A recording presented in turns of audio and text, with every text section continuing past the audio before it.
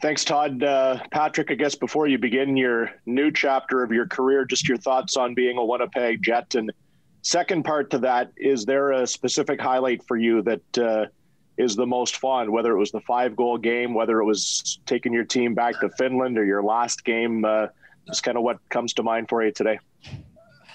Yeah. Um, well, obviously, uh, you know, drafted by by Winnipeg and spent uh, just over four years here. Um, I think it was a great, great place to play hockey. You know, everybody knows how passionate the fans are and uh, how build, how uh, how loud the building gets. Um, so it was it was it was an awesome place to play hockey, and uh, probably I would still say my first first game. I think that's uh, that's something I'll never forget. Um, you know, playing that in front of a home crowd, in front of my family. Uh, I mean, that was that was pretty special. And just to follow up, if I can, uh, obviously there was talk and speculation since the season began. What was it like when you finally found out today that uh, the deal was done? Appreciate it. Um, I think it was just shock. Um, you know, you you never know what to expect. You know, there's always always rumors going around the league, and now finally when they let me know earlier today it was kind of kind of shock and didn't know what to do but um, just you know gonna say hi to everybody and say goodbyes and but I'll uh, I'll see them in the quarters next year and uh, hopefully hopefully in the playoffs. Next we'll go to Aaron Portzline with the Columbus Dispatch. Go ahead, Porty. Thanks, Todd. Thanks, Patrik. Welcome to Columbus. Uh, what are your What are your thoughts on the new chapter? I mean, it, it, it's always a shock to to get moved. When you think of the Blue Jackets, how do you think you might fit in here, and who are you looking forward to to uh, playing with or getting to know? Um, well, yeah, thank you. It's uh, well, it's awesome to be uh, be part of the Blue Jackets uh, organization right now, and uh, happy happy that they wanted me on board, and uh, I couldn't be couldn't be more excited. It's uh, you know always always a new chapter, and kind of you know going to a new place, meeting new guys. It's kind of kind of scared, but uh, it'll, be it'll be fine. Uh, there's a bunch of guys, bunch of guys I know, and uh, a couple Finnish guys too, and uh, just uh, just super excited to meet everybody and uh, get get things going. Do you have a sense yet, Patrik, what your time frame is and how long it will take you to be able to get here with the visa, with the COVID and such? Do you have a time frame yet? Uh, no idea. I think just gonna let me know how the how the visa things work works out, and uh, but for now, I'm just you know packing packing my stuff and uh, just be be ready to go whenever uh, whenever they're ready. Next, we'll go to Mike McIntyre at the Winnipeg Free Press. Go ahead, Mike. Hi, Patrik. Um, a lot of Jets fans are going to naturally wonder why couldn't it have worked out here? Why not finish your career with the team you started it with? Uh, I just like to know, you know, your thoughts on on maybe where it didn't work out uh, and why uh, a trade ultimately happened here four and a half years into your career. Well, yeah, I think that's uh, that's a tough one. Um, you know, um, it's it, it's a tough question. Like I don't I don't really know. Like right now, um, I don't I don't even want to like think about it. Just you know, kind of leave it behind me and take all the all the great memories I had with uh, with this team and my teammates with me and uh, move on. But I think there was just um, I don't think maybe it wasn't wasn't a right fit right fit for me and for the team. You know, they have a lot of a lot of depth and uh, a lot of a lot of great players. So I think I think it was just um, the team's time and my time to move on. And uh, you know, they well they got a hell of a hell of a player in, in return too, which uh, you know he he'll be he'll be a good player for the Jets. But uh, I think it was just time time for us to move on. Next, we'll go to Brian Hedger from the Columbus Dispatch. Go ahead, Hedge. Yeah, speaking of Pierre Luc Dubois, you guys were drafted, uh, you know, two, three in the same year. There, did you guys, uh, did you guys have, you know, rela- friendship, relationship? Do you guys know any? Did you meet each other at the draft or anything like that? Have you talked? Um, honestly, not too much. Like we were uh, just that, bef- uh, like after the combine, we went to the Stanley Cup Finals in San Jose. So um, spent a little bit of time over there, and uh, obviously a bunch of bunch of media stuff at, at the draft. But uh, seems seems like a good guy. Um, the, the little time I spend with him, uh, funny funny guy, really good player. Um, so it's uh, you know they'll the Jets will have a have a good good player for uh, you know hopefully a long time. Next, we'll go to Tom Gulitti at NHL.com. Go ahead, Tom. Hi, Patrik. I know you just got traded today, but Jarmo talked a little bit about wanting to, you know, establish a long-term relationship with you. How open are, are you to that? And does your maybe a little bit of a relationship with with Jarmo maybe help some coming in into into Columbus? Um. Well, yeah. Obviously, he, uh, you know, he was excited to, uh, you know, to get me on board and trade a trade a big time player like Dubois for for me. So that's obviously obviously a big thing for me that um, that that uh, team team wants me and wants me bad. Um, so that was that was obviously a great thing for me. Um, and you know, I'm I'm I'm open for sure. I, I mean, hopefully hopefully that's going to be a spot where uh, you know I'm enjoying life, enjoying playing hockey, and uh, everything I've heard about the organization, the city, it's uh, it's only only positive things, and you know they have a good uh, good young team and uh, hopefully, hopefully I can bring uh, bring my uh, kind of playmaking abilities and my my shooting abilities into the team and work work as hard as I can and uh, hopefully hopefully build something good. Next, we'll go to Carter Brooks. Go ahead, Carter. Hey, Patrik. Congratulations on the new destination here for you.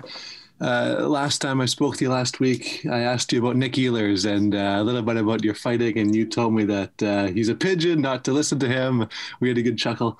But uh, today I listened to him, and he said that he's really sad to see you go. You guys had great things going on together. You were friends for a long time. Can you touch a little bit on your relationship and what it meant? Just to maybe maybe you might have heard him, maybe you didn't, but just to hear him say goodbye to you and how tough it might be. Mm, yeah, well, it's it's obviously tough. Um, you know, there's a lot of guys that have been there the whole time with me, and uh, you know, all, all of them are great guys.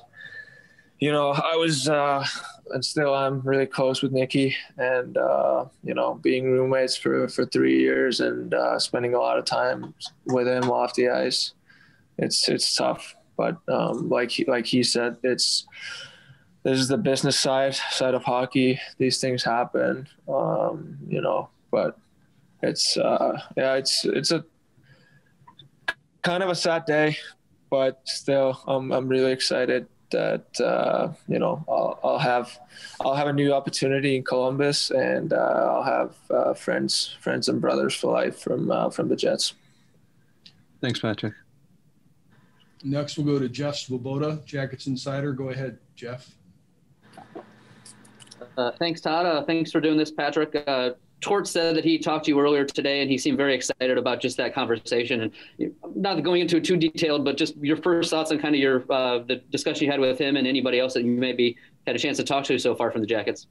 Um, yeah, had uh, had some good talks. You know, obviously talked to Jarmo and Torts, and had a had a good talk. You know, kind of didn't didn't talk too much too much yet. Um, just kind of ex- a little bit of ex- expectations and how how excited the both parties are for me me to arrive to Columbus. Um, you know, I was just expressing how uh, how happy I am I am to be uh, be a Blue Jacket now, and uh, you know, I think he they're they're all been really excited to have me on board and uh, kind of just excited to get uh, get the things going and finally gonna wear that jersey. Next, we'll go to Ken Wiebe at Sportsnet. Go ahead, Ken.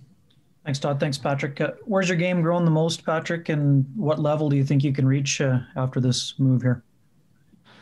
Uh, I think like overall, I think you know coming here four and a half years ago as an 18 year old, I think my game was it's it's night and day. The, the, the difference nowadays you know you're well now i'm i'm 22 i've been learning so much about the game how to play the game how to be a be a guy who wins his own battles. Um, and you know there's a lot of a lot of things i still need to improve. And but I think I'm on a good path. You know, had a good uh, good first game of the season, and uh, you know, obviously missed the last three, but um, I'll be I'll be ready to take the next next step with uh, with Columbus, and uh, I think it'll be a, it'll be a big one.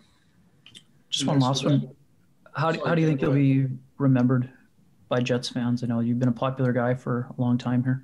Um, well, hopefully as a good guy. Uh, I've always, you know, tried to uh, be myself, and uh, if if somebody doesn't like it, then I don't know. It's too bad, but I, I think just being myself, I was always myself with the media, with the fans on the ice. So hopefully, hopefully they'll have good uh, good things to say about me, and uh, you know, always always try to be a good guy and uh, you know, good good teammates. So hopefully they'll have uh, some good memories of uh, number twenty nine.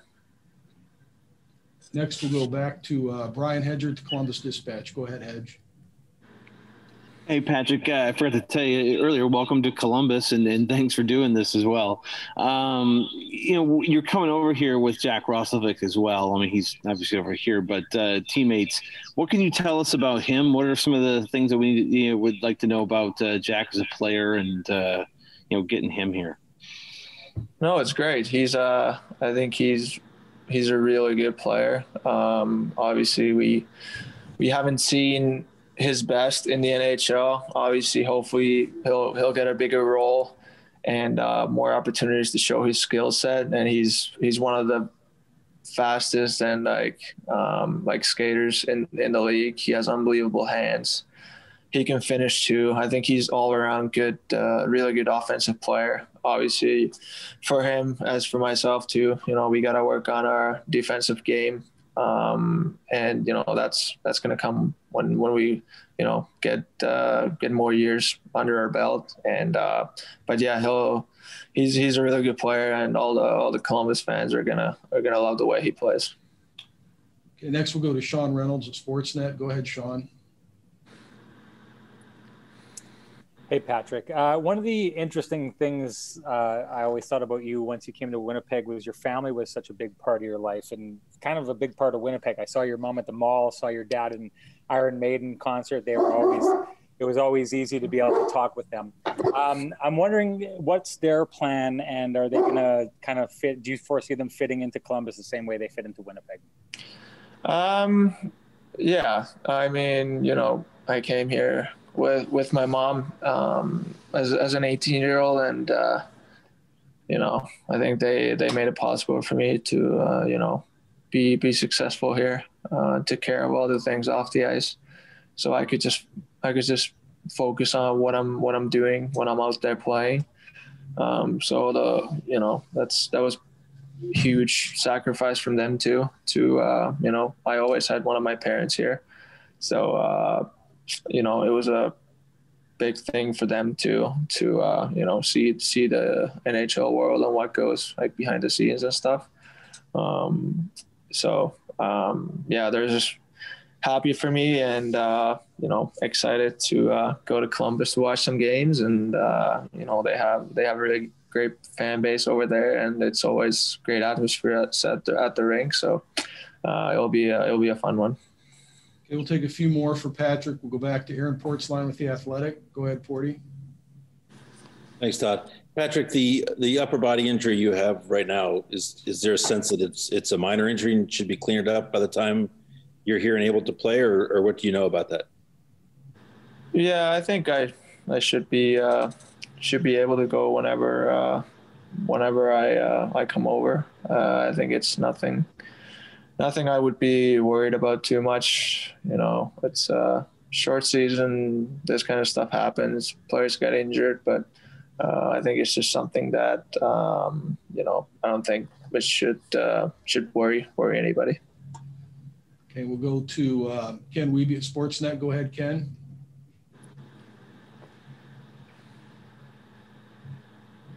I meant to lower my hand. Sorry about that, Todd. Thank you, Patrik. Yeah, no problem. We'll go to uh, Mike McIntyre at the Winnipeg Free Press, and then I think we have one in Finnish for Patrik. Go ahead. Nice. Thanks. Yeah, I won't try mine in Finnish, Patrik. Uh, um, we, we spoke earlier today. Uh, you probably didn't hear it, but both Blake uh, Wheeler and Paul Maurice spoke, and both of them were candid in in saying that they do take some responsibility, maybe that things didn't work out here. I just wonder your thoughts on the relationship you had with with Blake um, and also with Paul just during your tenure here. Um, I think we had a good uh, good relationship. Um, obviously, you know, I, I, don't think we had any negative um, conversations with Blake. Uh, I think it was usually usually positive and like he's a he's a guy who you know leaves everything on the ice. So he'll you know um, i'm the same way. I get frust- frustrated a lot and uh, you know sometimes say things that i shouldn't say and but um, yeah I, I think we had a you know good good relationship um, and with paul too. Um, you know he was a good uh, good coach. You know, he's been coaching for a long time, so he he knows how to handle players. Um, so I think it was uh, it was good. Thanks, guys. Now we'll go to Ville Toru, which I'm guessing will be in Finnish. Go ahead, Ville. Guess you don't know. Morjesta, Tota, sellainen kysymys, että sä päässyt eka kertaa niin kuin käytännössä joukkueen ykköshyökkääjäksi, jolta odotetaan tietysti myös sen mukaista tulosta, niin mitä sä ajattelet tästä tilanteesta? No kyllähän se tietysti joka, joka pelaajan unelma, unelma on kuitenkin olla se äijä, kehen kaikki luottaa ja, ja tota, toi, jos semmoinen paikka, paikka aukeaa, niin, niin kyllä mä teen, teen kaikkeni, kaikkeni, että koittaa olla sen arvoinen. arvoinen että tota, kyllä mä tiedän, että mä oon, mä oon valmis, valmis siihen ja, ja, ja mä oon hyvä, hyvä pelaaja, niin tota, kyllä se on hieno, hieno mahdollisuus, mahdollisuus itselle, minkä, minkä on sit toivottavasti pystyy, pystyy käyttää, käyttää hyvällä pelaamisella ja kuitenkin hommia tehnyt niin hyvin, niin, niin tota, toivottavasti saisi sen, sais sen sit käytettyä ja olla, olla semmoinen keulakuva ja keulahahmo tuolle joukkueelle ja näyttää, näyttää osaamista jäällä sitten ja, ja tota, näyttää esimerkkiä. Yes, kiitos. Thank you. Kiitos.